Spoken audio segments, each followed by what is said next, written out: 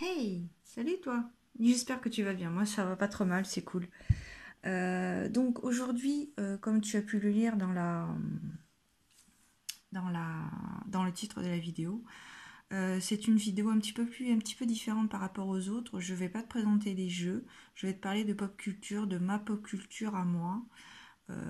donc c'est une liste qui est non exhaustive, bien évidemment puisque euh, tu as le droit tout à fait d'avoir des choix différents des miens, des,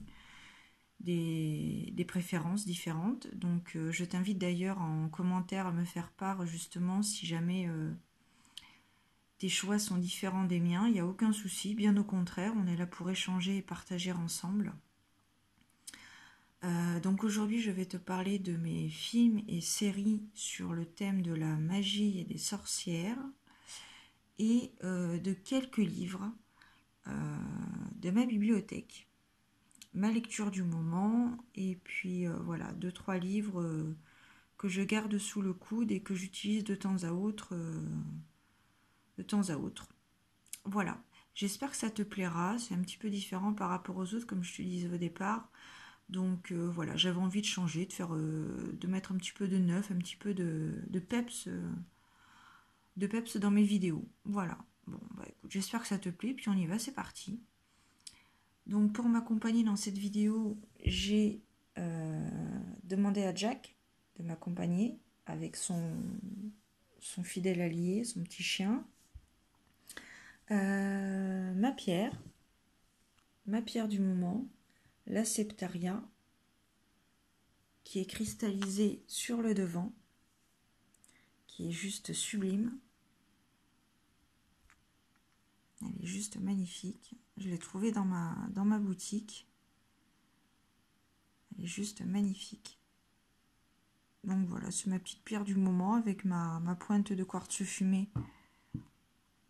Et puis j'ai deux petites pyrites aussi, tu vois, pour tout te dire. Pour ne rien te cacher, j'ai deux petites pyrites aussi. Euh, voilà, que j'ai mis sur ma petite table basse euh, du salon. Voilà. Écoute, Bon, alors après, c'est vrai qu'il ne faut pas mélanger toutes les pierres, mais elles ne sont pas, elles ne sont pas nettoyées ni rechargées. Donc euh, voilà, au niveau des énergies, euh, j'estime qu'elles ne sont pas mélangées, puis je me sens bien. Donc euh, voilà, c'est juste voilà pour la, la, beauté de la pierre, la beauté des pierres. Voilà. Donc j'en ai deux petites. Hop. Donc ensuite, j'ai pris Carrie du bal de fin d'année. Voilà. Je me suis dit, dans le thème pomme culture, je pense qu'on va pas être mal. Euh, je garde le meilleur pour la fin. Euh, ma petite voyante. Ma petite voyante euh, Bobo Bohème. Donc c'est un personnage de la saga Harry Potter. Alors je ne suis pas une fan inconditionnelle de, la saga. J'ai vu les, films, mais bon après voilà, c'est pas ma préférée. Euh, mais du coup, j'ai bien aimé euh, ce personnage un petit peu perché, quoi. Euh, voilà. Atypique, dirons-nous. Particulière. Donc voilà, j'aime bien. Donc j'ai les prise avec moi. Et puis bien évidemment, ma falda qui m'accompagne. Et donc le meilleur pour la fin, donc c'est pas du tout de la pop culture, c'est des croyances, ma croyance. Voilà, Ganesh. C'est un dieu hindou Dieu du courage et de la compassion. Euh, voilà, il, est près de moi. Toujours. Ça fait quoi? Ça fait deux ans. J'avais trouvé cette petite statuette euh, sur un marché de Noël il y a deux ans. Euh, voilà. Hop. Et donc, du coup, je la mets toujours près de moi. Voilà. Allez, on va aller dans le vif du sujet. Je vais fermer la porte pour qu'on soit plus tranquille. Et on est parti. Donc au niveau des séries, sans grande surprise, hein, bien évidemment, on va partir sur Charmed.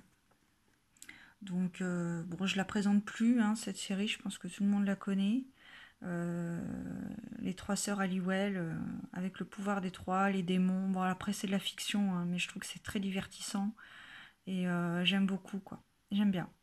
C'est il y a quand même euh, quelques épisodes euh, de tristesse, hein, Mais euh, voilà, c'est j'aime bien. Elles ont chacun un rôle euh, assez complémentaire. C'est dommage d'ailleurs que, que Prue, donc le personnage du milieu interprété par euh, Shannon Doherty, a quitté la série au bout de la troisième saison. Et elle a été remplacée donc par Paige en saison 4. Et voilà, donc il y a eu 8 saisons. Et voilà, donc j'ai. Voilà. Piper, Prue, Prudence et euh, Phoebe Halliwell.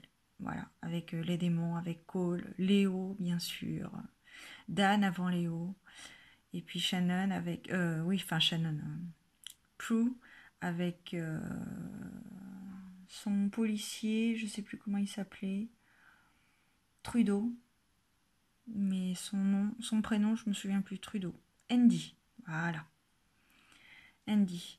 Et puis, et puis voilà, entre autres. Moi j'ai préféré, personnellement, j'ai préféré les premières saisons. Euh, mais parce que c'est vrai qu'après qu'une fois que Pou a quitté la série, enfin Shannon a quitté la série, c'était, différent. Bon, c'était aussi attractif, mais euh, je sais pas, il manquait un truc. Donc euh, voilà. Allez, donc ça, c'était. Il y en a 8 saisons, hein, 8 saisons. Alors je n'ai fait que deux, j'ai pris que deux séries. Et celle-ci, bien évidemment. Je pense que celle-ci aussi n'est plus trop à présenter. Penny Dreadful, donc euh, c'est une série que j'ai découvert euh, bah, dans une boutique bizarrement, euh, dans une grande chaîne de, multimédia. voilà, avec Eva Green dans le rôle de la sorcière et de la carte ancienne, entre autres, Josh Arnett. Et voilà, donc il y a trois saisons. Dommage, même si euh, à la fin de la troisième saison, euh, je trouve que ça se termine un petit peu en queue de poisson. Euh, tout le monde s'en va dans son coin. Enfin bon, j'ai pas très bien compris la fin, mais bon, je suis un peu restée sur, sur ma fin, comme dirait l'autre. Parce que je pense qu'il y avait encore pas mal de, choses à exploiter. Bref, donc voilà, donc c'est un univers assez sombre, victorien, assez percutant, très prenant. Et euh, ça parle de monstres et euh, notamment euh, Frankenstein, les vampires, voilà, la chasse aux sorcières. Et puis voilà. Donc très très bonne série aussi. Enfin j'aime beaucoup. Après, comme je te dis, je t'invite fortement à me mettre en commentaire tes préférences. Ça permettra d'échanger. Et peut-être que tu découvriras ou que moi-même je découvrirai des séries ou des films que je ne connais pas. Euh, voilà. Bon, après, comme tu as pu le remarquer, tu vois, je préfère acheter les, DVD plutôt que de les télécharger. Je suis pas trop ça. Enfin, je le fais pas, quoi. Je suis un peu de l'ancienne école. Euh, voilà. Après. Donc voilà pour donc mes séries. Alors certainement qu'il y en a d'autres, hein, c'est sûr même. Mais euh, pour moi, ce, pour moi, ce sont les, ce sont les meilleurs. Ensuite, au niveau des films, ah, et puis tu vois, hop là, tu me vois dans le reflet. Coucou euh, donc ensuite, euh, je te partage les sorcières d'Eastwick. Donc c'est de la science-fiction, c'est très divertissant avec un Jack Nicholson au plus haut de sa forme. Et voilà, donc je te laisse faire pause si tu souhaites lire le synopsis au dos du DVD. Voilà. Ensuite, nous avons la traditionnelle, le traditionnel Hocus Pocus avec les trois, trois petites sorcières, enfin trois petites, tout est relatif. Voilà, là pareil, je te laisse faire pause si tu souhaites lire le, synopsis. Mais je pense que ce sont, des films que, tu connais, à mon avis. Euh. Allez, la famille Adams, parce que bon, la grand-mère, elle fait un peu de magie quand même. Puis c'est un peu glauque, euh, j'aime bien, c'est rigolo, c'est très très rigolo. Euh, voilà, il y en a deux. Donc là, pareil, bon, si tu veux faire pause, mais bon, après, comme je te dis, je pense que tu dois les connaître, tous ces films-là. Voilà. Après, on a celui-ci, Dangereuse Alliance. Aussi, très bon film les années 90. De toute façon, je pense que les meilleurs, c'est ce, les années 80, euh, ouais, voilà, 70, 80, 90, parce qu'il y a aussi la sorcière, euh, sorcière de Salem euh, qui était sortie en, dans les années 70, 60, 70. D'ailleurs, j'aurais pu te montrer le Salem de Rob Zombie. voilà. Donc sinon il y a voilà, donc il y a Dangereuse Alliance.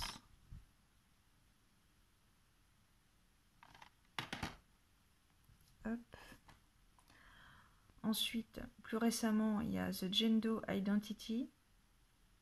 Et euh, j'adore ce film parce que j'adore l'histoire dans l'histoire, l'histoire de la sorcière. J'aime beaucoup, il est très prenant. Euh, il est très très prenant. Voilà. Après, on a le dernier chasseur de sorcières avec donc Vin Diesel. J'étais assez euh, étonnée de le voir dans ce type de film. J'étais plus habituée à le voir dans les Fast and Furious. Mais euh, finalement, il se débrouille pas trop mal, je trouve. Donc voilà, c'est un super, c'est un bon film aussi, toujours dans la science-fiction.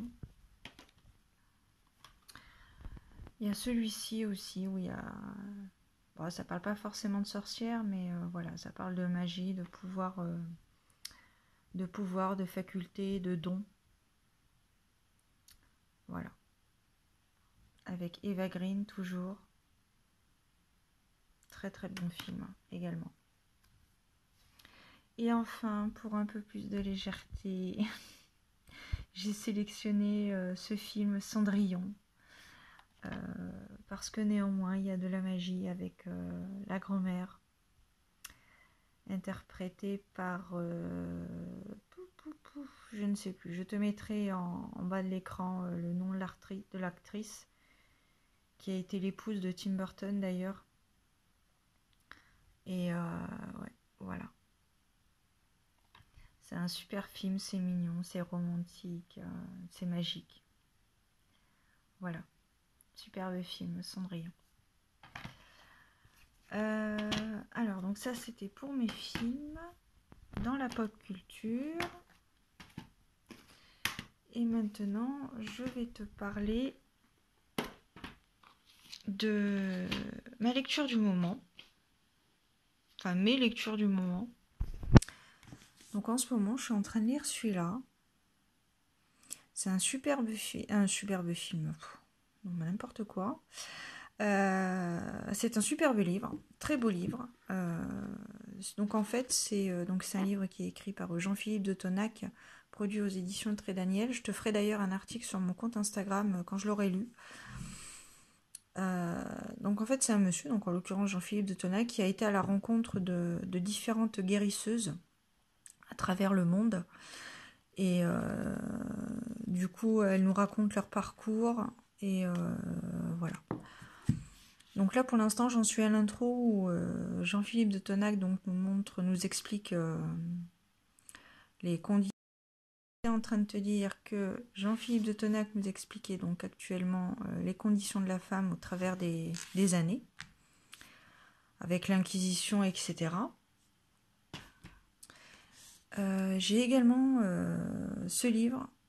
Alors, c'est pas un livre qui se lit du début à la fin puisque c'est différentes histoires de, sorcières, comme tu peux le lire dans le titre, Les plus terribles affaires de sorcellerie, de Louise-Marie Alibert, euh, Louise-Marie Libert, pardon, euh, produit aux éditions La Boîte à Pandore. Donc c'est un superbe livre. Euh, d'ailleurs, pour en revenir deux secondes, si tu veux faire une pause, si tu souhaites lire, voilà, n'hésite pas, tu fais pause et comme ça tu liras sur le livre des, Le Cercle des Guérisseuses. Et donc celui-ci, les plus terribles affaires de sorcellerie. Si ça t'intéresse, je te mets le dos. Voilà, comme ça, tu pourras le lire. Euh, je vais quand même revenir après. Voilà, je te présente ce livre. Enfin, je te présente rapidement. Euh, le petit Larousse illustré des symboles et des signes. Donc c'est un livre qui est très très intéressant. parce qu'il parle de tous les signes et symboles qui puissent exister au travers de, l'histoire. donc là, on a l'eau, on a les mammifères, vous voyez, toutes les significations des mammifères, les plantes, les fleurs, les dieux, bien évidemment, le corps humain, l'amour, le mariage, les divinités, les religions, les anges, bien évidemment, la divination, le Graal. Et il est vraiment très très complet. On a même sur les coiffes également. Et à la fin, donc, nous avons l'alphabet des différentes langues et écrits possibles. Donc, euh, il est vraiment euh, superbe. Très, très intéressant, très enrichissant. Et donc, pour terminer dans ma lecture, je vais te présenter celui-ci pour revenir quand même dans le domaine de la cartomancie au niveau du, de, l'apprentissage du tarot. Euh, donc, ce bouquin, je l'ai trouvé d'occasion, sans chercher. Alors, je l'avais déjà repéré neuf, mais euh, je le trouvais un petit peu cher, pour ne rien te cacher. Et puis, euh, quand j'ai été faire un tour dans ma boutique euh, un jour, je l'ai vu, il était d'occasion, il était à 12 euros, je crois. Puisqu'à la base, il était, ouais, il était à 24, donc je l'ai trouvé à 12 euros, donc je l'ai pris. Et en fait, il est super. Enfin, en fait, je n'étais pas du tout, j'avais pas de mauvaise a priori. Il est très très bien ce, ce bouquin pour apprendre donc le tarot méthode Rider-Waite. Donc il y a plusieurs exemples de tirages et l'explication de ces tirages. Nous avons également un, petit exemple, un petit paragraphe sur, le, sur les chakras. Et après, donc, il reprend, donc, par exemple, donc, la carte originale de l'arcane majeur, donc là en l'occurrence le battleur. Nous avons les différentes correspondances. Donc j'étais en train de te dire l'interprétation donc de, de la carte, la correspondance avec l'astrologie, la cabale, le sens droit, le sens inversé, euh, le message de sagesse et les symboles du battleur par rapport à la carte. Donc là, tu vois, on a toutes les, principaux éléments de la carte qui sont, qui sont bien expliqués ici. Et là, il nous, il nous explique également le battleur dans l'histoire et toujours un exemple de tirage. Donc ça pour toutes les cartes.